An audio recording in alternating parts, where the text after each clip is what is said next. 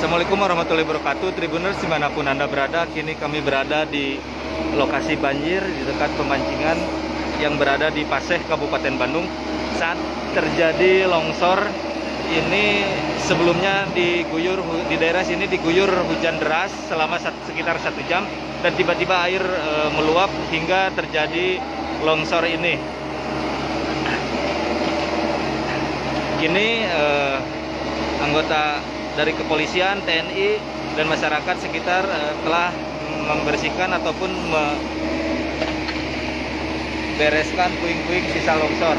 Adapun akibat longsor ini beberapa kendaraan sepeda motor uh, tertimpa tanah sehingga dievakuasi seperti di depan ini.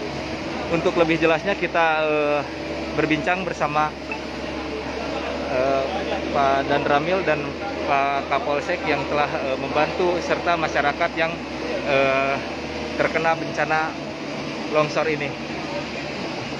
Izin Pak. Pak izin uh, kejadian longsor ini pukul berapa sih Pak? Baik, uh, saya sampaikan bahwa kejadian longsor ini terjadi kemarin hari Rabu tanggal 26 2023 kira pukul 16.00 sebelumnya kami beserta Kapolsek dan Pak Camat sudah menghimbau kurang lebih sebelum kejadian karena hujan terus kami sudah menghimbau kepada warga yang sedang melaksanakan mancing agar segera meninggalkan tempat karena antisipasi e, terjadinya longsor.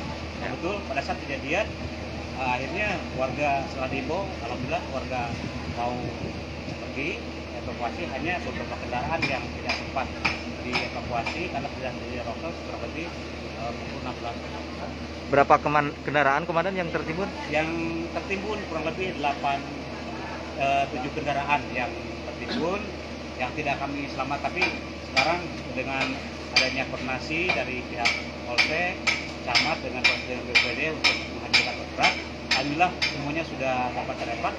Belakang kita sudah ada eh, motornya yang tidak ada korban jiwa ya komandan? Sementara sampai dengan saat ini korban jiwa nihil, hanya material saja, termasuk mungkin e, tanah yang punya kolam ini kerugian belum bisa ditaksir. Ya. Nah, yang kami harapkan ya sesuai dengan rencana, alhamdulillah tidak ada korban jiwa. Komandan, imbauan bagi masyarakat di daerah-daerah seperti ini, Komandan?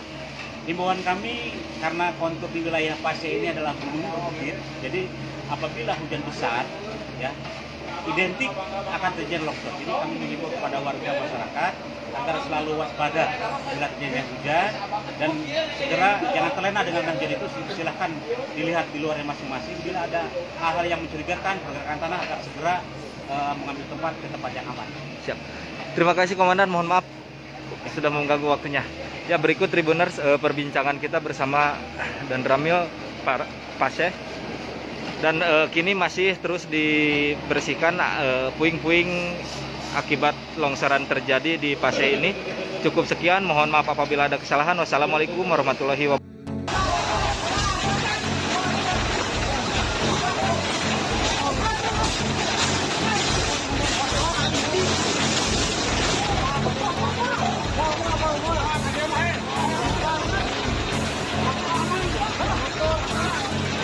Terima kasih sudah nonton.